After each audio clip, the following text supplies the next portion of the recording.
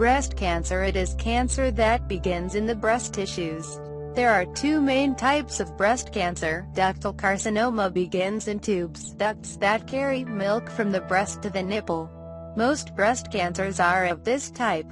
Lobular carcinoma begins in parts of the breast, called lobules, which produce milk. Rarely, breast cancer can begin in other areas of the breast. Mammary gland causes breast cancer risk factors are those that increase your chance of getting breast cancer. You can control some risk factors, such as drinking alcohol. Others, such as family history, cannot control them. The more risk factors you have, the more your risk will increase. However, it does not mean that you will have cancer. Many women who have breast cancer have no known risk factors or family history. Understanding your risk factors can help you know how to prevent breast cancer. Breast implants, the use of antiperspirants, and the use of rod bras do not increase the risk of breast cancer. There is also no evidence of a direct link between breast cancer and pesticides. Symptom Early breast cancer often causes no symptoms. For this reason, regular breast exams are important, so cancers that have no symptoms can be detected early.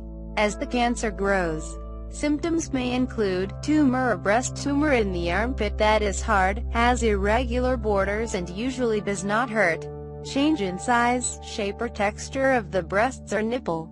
For example, you may have redness, holes or puckering that looks like orange peel fluid from the nipple, which can be bloody, from light to yellowish or greenish, and look like pus. In men, the symptoms of breast cancer include breast lumps as well as pain and tenderness in the breasts.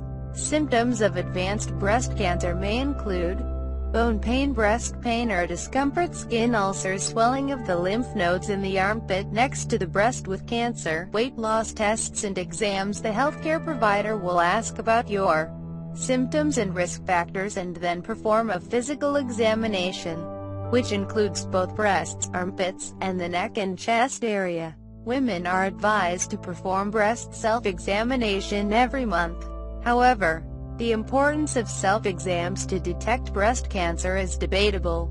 Biopsy with sinus needle tests used to diagnose and monitor people with breast cancer may include magnetic resonance imaging of the breasts to help better identify the mammary tumor or to evaluate an abnormal change in a mammogram ultrasound of the breasts to show if the tumor is solid or full of fluid breast biopsy, using methods such as ultrasound, stereotactic or open-guided aspiration biopsy CT scan to see if the cancer has spread outside the breast mammography to detect breast cancer or to help identify breast lumps or lumps positron emission.